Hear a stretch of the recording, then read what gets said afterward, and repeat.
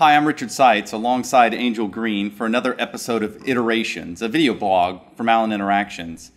This week's topic, I want to kind of play off of my blog post from last week, which was titled, We Need to Put Some More Design in Instructional Design.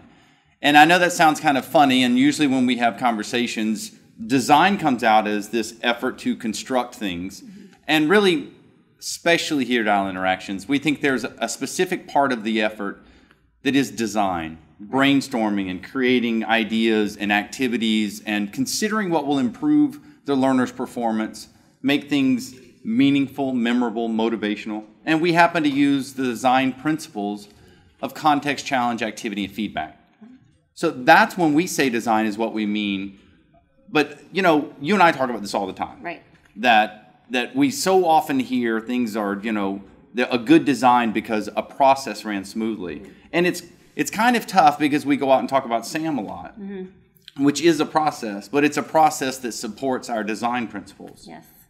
So what do we you normally see when you're out working with clients in terms of design? Well, I think there's a misconception of what is instructional design. Yeah. So, in order for me to describe what instructional design is in our belief, it helps to say what it's not. Mm-hmm. And so, instructional design is not a list of objectives at the beginning of a course. It's not having a, a list of questions that need to be answered by an employee and get an 80% to pass. It's, so it's really not instructional materials design. Right. Or I should say it really is when most people talk about it and Yes. those kind of things. Right. But th- when we're talking about the design of instruction or instructional design, we really mean the creative treatment that we are going to provide learners that learning experience. Right, right. So instructional design then is to focus on performance. It's to ask the questions of the subject matter experts, the stakeholders, the people in the room. What do people need to be able to do in their jobs? They need what do they need to be able to contemplate? What do they need to be able to think about? What considerations do they need to be making in their day-to-day activities? And then build something that mimics that. Right. That that that's the design part of it is Right. identifying and finding those moments and creating those moments and strategies to create those moments and design principles dri- driven to those moments. Converting a PowerPoint is not instructional design. Um, it- creating a nice page turner that provides information to a learner while may seem be, to be in the realm of instruction, really the majority of that effort is media design or instructional materials design. Right. Uh, and nowadays, with the rapid development tools, it's really just you know materials development. There's no design to it at all with the templates and the things that you can use. Right, right. And it's not that those are bad always or No. that's the situation, but I think when we're saying instructional design, we really want to push each other and, and everyone here at Allen Interactions and everyone in our industry Right. to really design things for learners for the purpose of learning. Right, right. We have to be honest with ourselves.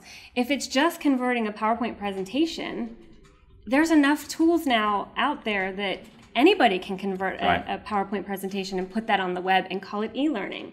We, as stuff. instructional designers, need to take a step back and look at the, the strategy, the approach, the performance, all of those things to become a partner, to not be seen as a cost center, to be seen as a value add to our organizations, to our clients, to whoever it is that we're building this learning for, and say, look, we're going to look for performance change methods, Yeah. and we're going to have challenge based instruction that will mm. get us to change that performance. You know, Michael always says that ADDIE tells us what we need to do, and SAM challenged us to say, why not? Right. And I think that instructional design is more of the art of why not. Mm-hmm. Because we, there is so many what's that we can do. We can convert PowerPoints, we can upload documents, we can create page turners, we can have a multiple choice question every five or six pages or slides or whatever you want.